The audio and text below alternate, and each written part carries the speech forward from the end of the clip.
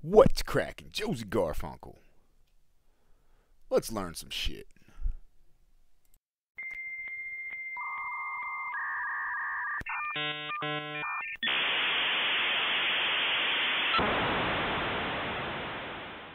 In this episode of the G Show, I'm going to show you how to easily make some main menu music with a playlist that shuffles, randomizes each time you end up being on the screen. And I'm going to show you how to add a shuffling loading screen. So you can have multiple different loading screens. You can put your tips, the rules, whatever you want. I put some samples of just some screenshots to have an actual loading screen if you would like to use it, of course. So, first things you're going to need to do are come to Steam. Make sure you get DayZ Tools installed. Once you have DayZ Tools installed, you're going to have to be able to access the P drive, which is all the game files compiled into a drive. They call it the P drive, I assume, for project. You could kind of rename this whatever you want, that's not really of issue. But if you haven't extracted the P drive, go to DayZ Tools, click on Tools, and extract the game data. Make note of wherever you put this folder. I put it right on my desktop. And then once you have it extracted, you're going to mount the P drive. I already have this done. I'm not going to example this. Plenty of other videos for that. And you're going to need a way to convert an image to a PAA. Instead of a .png, it'll be a .paa. You can either use this Arma 3 converter. I'll link this in the description.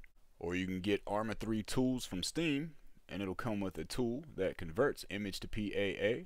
Images need to be 2 by 1, so 2048 by 1024 or similar. And then you would simply drag your image over that app and it will give you a PAA version of that picture. Once we've done all that, we're going to hop over here on Steam, look up Josie's load screen template, and you're going to subscribe to that. Then we're going to open up the DayZ launcher.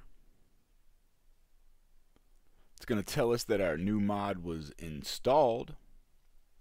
Click over here to your mods folder.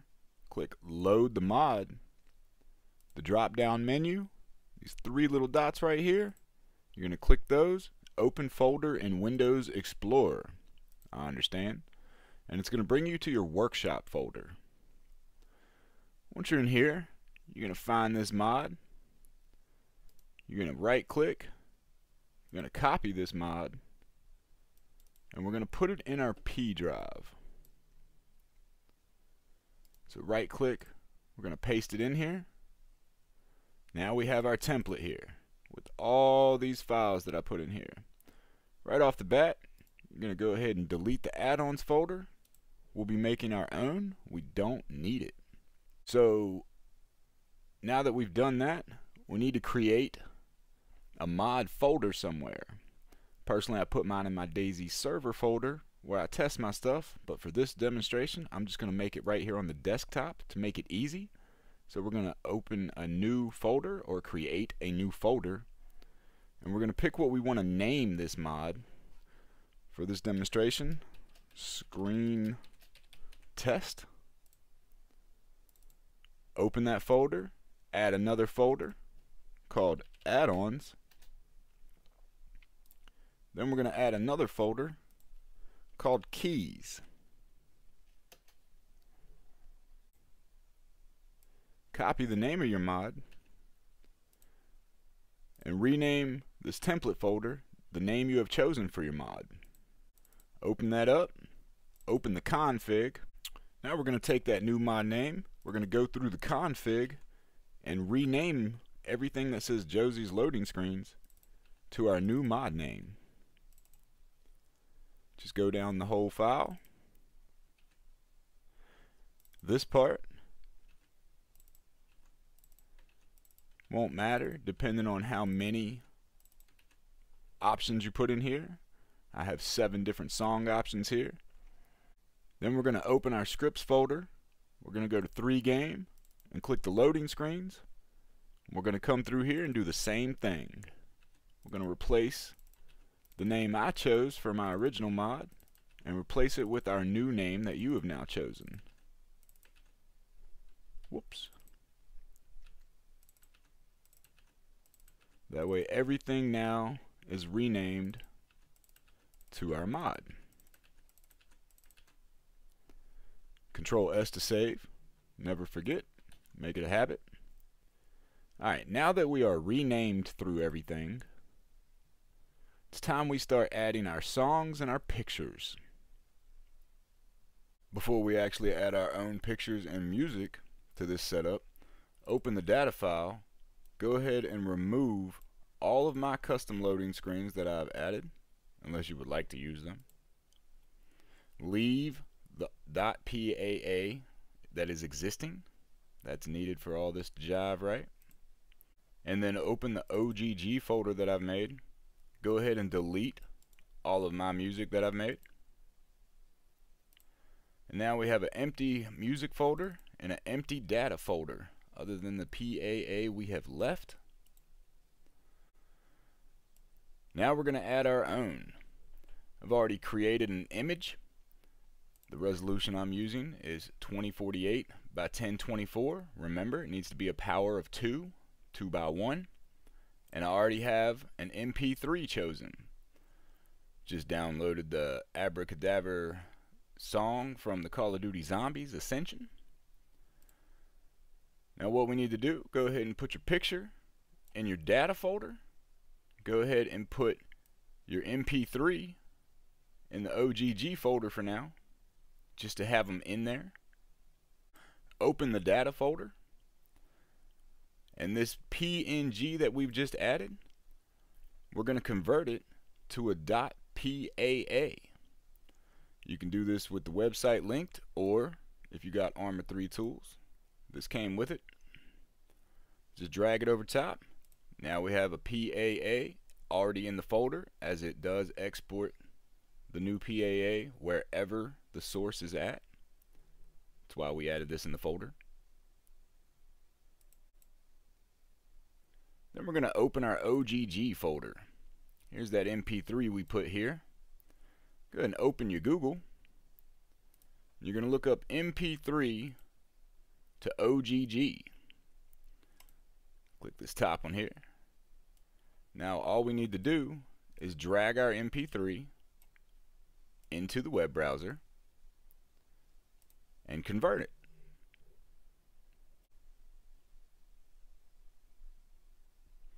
Once it's converted, go ahead and download it.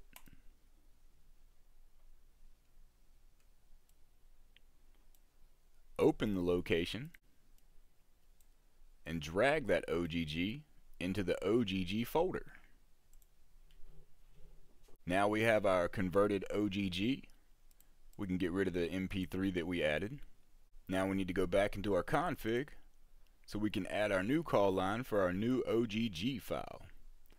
Go ahead and remove all of the song list but one that I've added. Remove the comma if it's the only entry and label it selection 1 there at the tail of it. Go back to your OGG folder Click so you can rename. Control C just to copy that file name. Come back to the config and just paste in your name. Make sure you have .ogg here at the end. If you were having more selections here, you would simply copy the line, add a comma, add another line, no comma for the last entry, rename the next selection, and add your new name here. And now you have two. It will randomly select one. Sometimes it'll keep playing the same one over anyway. The more you have, the more variety you get. For demonstration, I'm just going to put one for now, but that's how you add multiples. Control S to make sure you save. And now we're done with that file. Now we're going to open our scripts folder, our 3 game, and our loading screen. Once we're here, we're going to delete all but one, making sure there's no comma unless we have multiples. Never a comma on the last entry. Go back to your data folder to where we had that PAA. Click on it so you can rename it. We're going to rename that extension to EDDS. Windows is going to ask you if you are sure. You are sure. And now that we have that renamed, copy the file name itself, come back over here to the script, and paste in your new name, making sure .edds is on the tail, and again, the mod name itself, as this is a path call.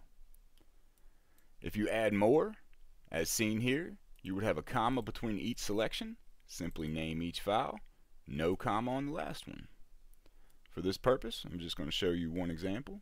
Now that we have our file, single, multiple, whatever it may be, drag and copy. Then you're just going to replace over this list with the same thing and this list with the same thing. Now you can mix and match and do different ones for different things. Say you want the queue to have points of interest pictures. You want the loading screen to reassure people of the rules on a loading screen. And then say you want your original loading screen a multitude of things. You can do this however you want, or you can make them the same. All up to you. Control S to save. And now we're done. We're ready to pack our mod. Now that we have all that configured up, go ahead and delete these. That's just some instructions and whatnot. We don't need that anymore. Open up DayZ Tools. It's time to pack our mod and sign it so we can use it. First, we're going to go to Add-on Builder. Give it a second to pop up. Got a couple things we need to put in here. The top one is going to be your direct call path from your P drive to the mod name. I named my example screen test. So we're going to look through the P drive and scroll down until we find our mod folder. We're going to click that. Then we're going to click OK. We should have nothing here but the P drive and screen test or whatever your mod name is. Second line is where the mod folder is, where we want it to send our PBO. We put our mod on our desktop, so let's open that.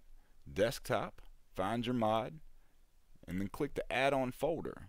That's where we want that PBO to go, so you're going to click OK. Have these couple of things checked.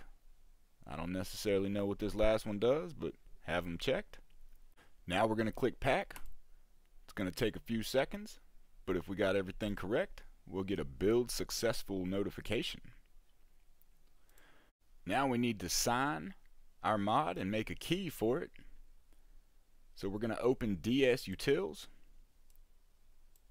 And to start with, we need to add a source directory for the PBO that we want to be signed, which is the PBO we just packed and created. So open your mod, open your add-ons folder, just drag your PBO to this window, and that's the PBO that we will be signing and we're going to create a key that unlocks it so to speak so you can use it.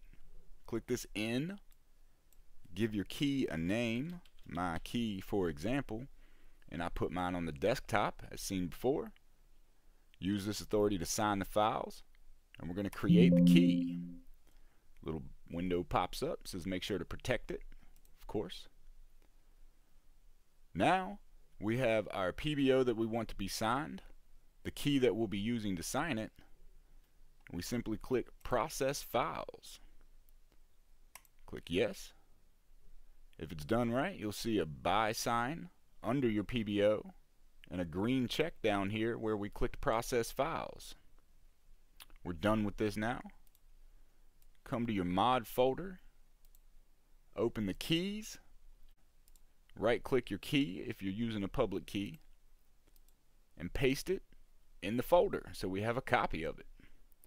Now we have a key and a signed PBO. Now we're ready to publish our new mod. So come back over here to DayZ Tools, go to the publisher. Here's where we upload our mod. So we want new workshop item and we're going to name this. We named it screen test. Again, you will have it named whatever you wanted it named. Choose whether to be public or private. For this example, just to be public. And this, select mod folder. We're going to pick where our mod was at, where we had the PBO and the key. We put ours on the desktop for this example, so simply click that folder. And there you have it. Put you a description. You can put you a picture in here. You're going to want to click I agree with the licensing and terms and usages. Now we're just going to click publish. It's going to take a few seconds to do its little dance. Your file size will depend on how many songs and selections of screenshots you have. But now we have that done. We're going to click close.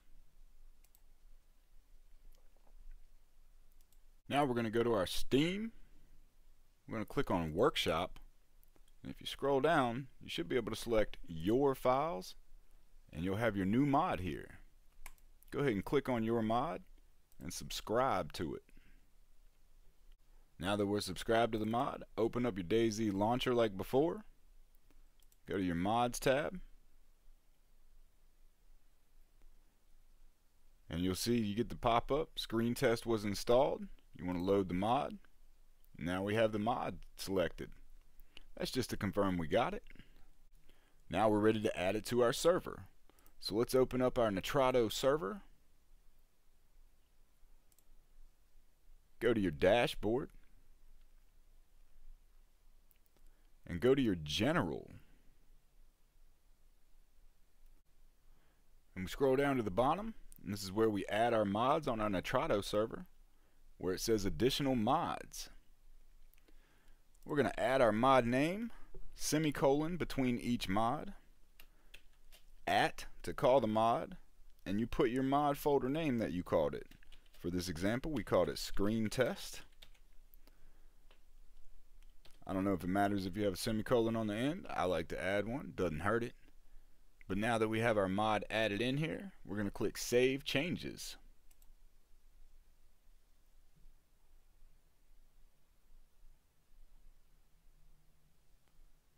Now we need to actually put the mod and the key on our server. So let's open up FileZilla. Go ahead and connect to the server that you want to connect to. We're going to open the main folder. And this is where we want to put our mod. It'll go up here with the rest of the at symbol file names. So come over here to the left. You're going to find your path to the workshop. And then through the workshop, you're going to go find that mod that was just installed. We called our screen test, so we're going to scroll down here, find screen test, right click that, you're going to upload the whole folder. It'll take a second to do its little thing with each individual file. You should get a message telling you that it was successful. Now we're going to open this folder and on the right side, we're going to open the keys. Open the keys over here. Right click your new key. My key was the example. We're going to upload our key. Now that it's installed, go back to your Nitrado. Simply restart your server.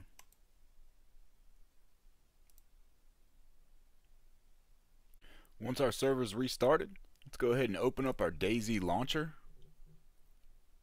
We're going to go to mods and we're going to select the mods that we want loaded.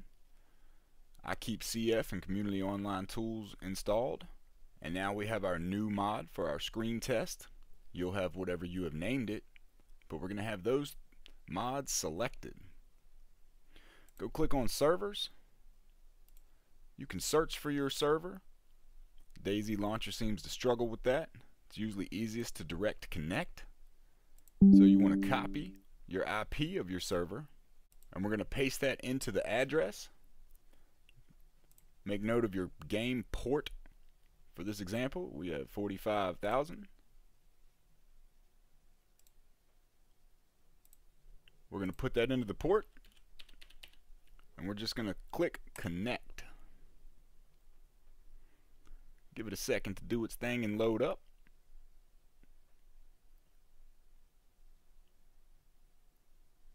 And if you did it correctly, you should notice your load screen pop up right away. We have the picture of the pig that we added.